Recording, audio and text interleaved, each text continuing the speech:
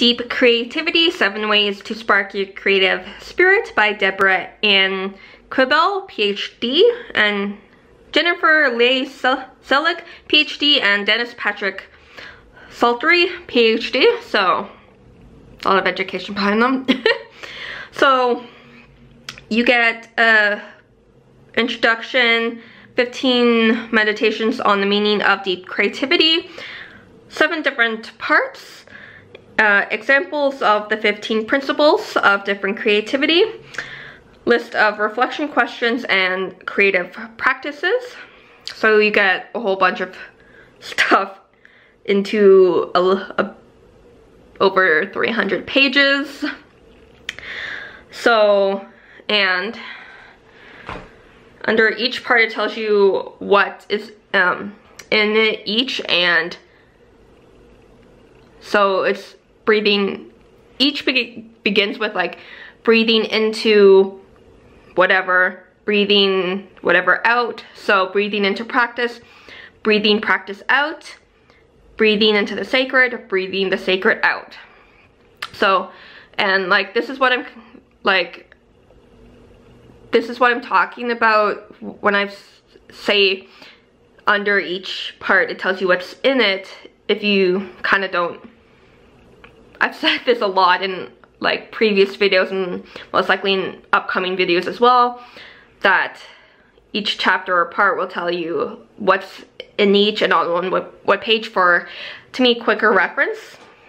So this is what the 15 practices would look like. You're looking at deep creative deep creativity is blank in the is whatever in bolded text and then one to three sentences about it. And then you are getting the, instead of the formal, like, um, non-personal, you're getting the I, U, we, which in a lot of courses that I've taken when writing essays or whatever, they're like, no, don't use per personal pronouns.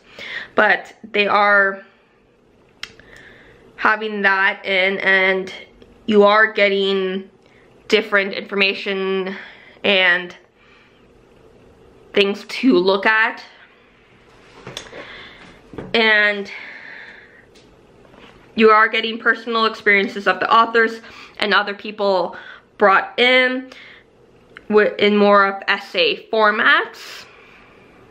Then, uh, then here's a chapter on whatever the topic is.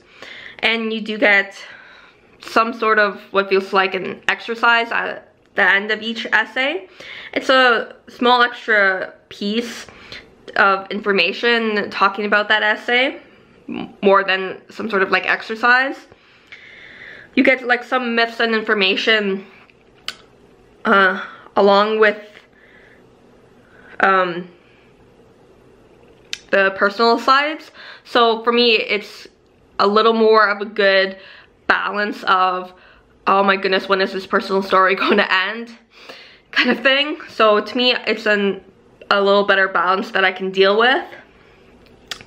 So, yeah, and with the examples,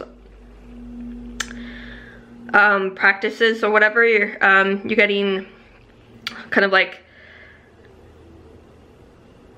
um, creative, the creative practices, you got like love, nature, and then whatever the practices under each.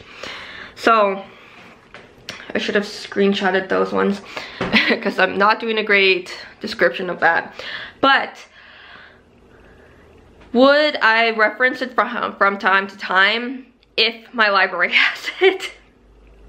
if my library does ever does if my library ever does pick it up or if I'm in a library that does have a copy I might give another look on it because it does have some good points to it I I found it okay. I wasn't, I like I I liked it. I would reread it as a library loan, not as I want a physical or ebook version of it of my own. But yeah, others would want, to, like I can, I can seriously see why other people would would likely want a physical copy of this for themselves, but I can see other people like me if it's at my library, I might pick it up again, or others might just pass on it.